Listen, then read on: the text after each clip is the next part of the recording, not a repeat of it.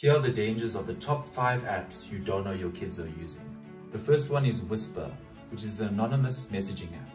The danger of this app is your IP address is open and they can find your location. And due to the anonymous nature of this app, it's very easy to fake an identity as a child. Secondly, there's CapCut.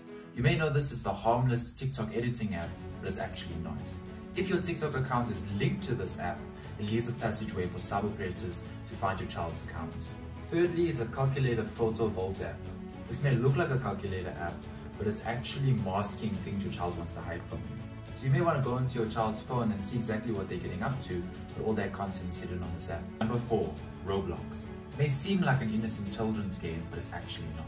There are tons of adult content popping up as ads, and cyber bullies and cyber predators have easy access to your child. Number 5 is Zoomerang.